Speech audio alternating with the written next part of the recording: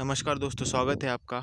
आज हम यहाँ पे हमारे अनार के खेत में हैं। तो यहाँ पे अभी एक इस जो अनार के पौधे हैं, पेड़ है, उन पर एक प्रॉब्लम हो चुकी है। यहाँ पे जो नीचे बूंद है उसका, यहाँ पर एक कीड़ा लगता है, उसे स्टीम बोरर बोलते हैं इंग्लिश में। तो उससे वो ऊपर वाली सारी ब्रांच जल जाएगी मतलब ख़राब हो जाएगी। अगर नीचे से कीड़ा लगता है वो ऊपर, वो ब्रांच को खाते खाते ऊपर आ जाएगा और वो पूरी ब्रांच जल जाएगी।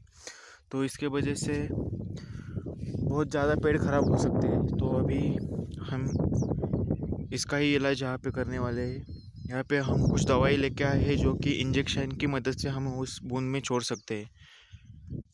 यहाँ पे आप इस तरह से देख सकते हैं, यहाँ पर कुछ भूसा निकला हुआ है पेड़ के बूंद से, जो कि कीड़ा अंदर है और वो कीड़ा बाहर, वो जो लकड़ी है, वो ब्रांच है, उससे वो ख़राब कर रहा है और वो भूसा वो नीचे डाल रहा है। तो इसके वजह से ये पूरी ब्रांच ही ख़राब होने वाली है। तो अभी हम इसके अंदर, यहाँ पे एक होल है जहाँ से कीड़ा अंदर घुसा है, उसके अंदर हम यहाँ पे मेडिसिन छोड़ने वाले इंजेक्शन की मदद से वो मेडिसिन हम अंदर छोड़ने वाले इससे पहले भी बहुत पेड़ों को ये प्रॉब्लम हो चुकी थी। हमने इंजेक्शन की मदद से वो दवाई अंदर छोड़ने के बाद वो कम हुआ। हमें लगा कि वो ठीक हो रहा है। तो आज भी हम इसे इसके अंदर छोड़ने वाले हैं। चलिए हम अभी छोड़ते हैं इसके अंदर।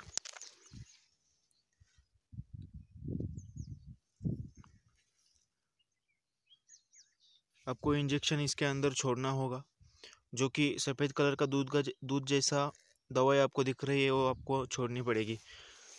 आपको जब तक वो होल है, वो भर नहीं जाता, तब तक आपको इंजेक्शन छोड़ते रहना है, ताकि उस कीड़े तक वो दवाई पहुँचे और कीड़ा अंदर ही मर जाता है। फिर उसके बाद आपको इस तरह की प्रॉब्लम या इस तरह का भूसा नीचे नहीं दिखाई देगा।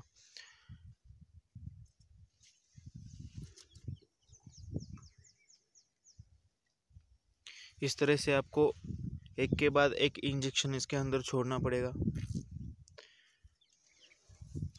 अभी देख सकता है, लगता है ये भर गया है। फिर भी हम और एक इंजेक्शन इसके अंदर छोड़ने वाले हैं।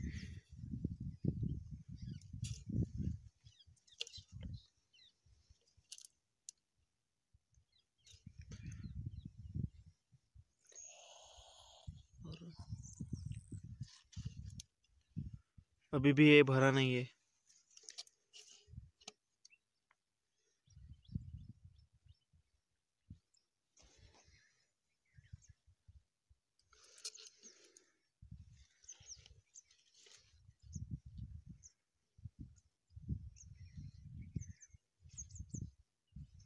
अभी ये भर गए, आप देख सकते हैं। तो इस तरह से आपको इंजेक्शन इसके अंदर छोड़ना है। तो इससे पहले बहुत सारे पेड़ों को भी ये प्रॉब्लम हो चुकी थी। हमने ये दवाई छोड़ने के बाद हमें कम होते हुए दिखाई दी। तो इस तरह से आप स्टीम बोरर को कम कर सकते हैं आपके अनार के खेत में। तो तो अभी हम आपको दिखाने वाले हैं कि हम इसके लिए कौन सी दवा यूज़ करते हैं। तो ये है हमला फाइव फाइव ज़ीरो ये जो दवाई है हम छोट एक लीटर पा, पानी में थोड़ा सा दस एमएल डाल सकते हैं और वो पानी दूध जैसा हो जाएगा। उसके बाद आपको उसको इंजेक्शन में लेना है और अभी जैसे दिखाया उस तरह से आपको उस बूंद में छोड़ना है। तो आपको कुछ दिन बाद इस तरह से भूसा निकला हुआ नहीं दिखेगा। तो इस तरह से आप इस स्टीम बोरर का इलाज कर सकते हैं। तो दोस्तों, आपको ये वीडियो अगर अच्छी लगे हो तो हमारे चैनल को सब्सक्राइब ज़रूर करें। वीडियो को लाइक करें और ये वीडियो आपके दोस्तों तक और दूसरे किसानों तक ज़रूर पहुँचाएँ। Thank you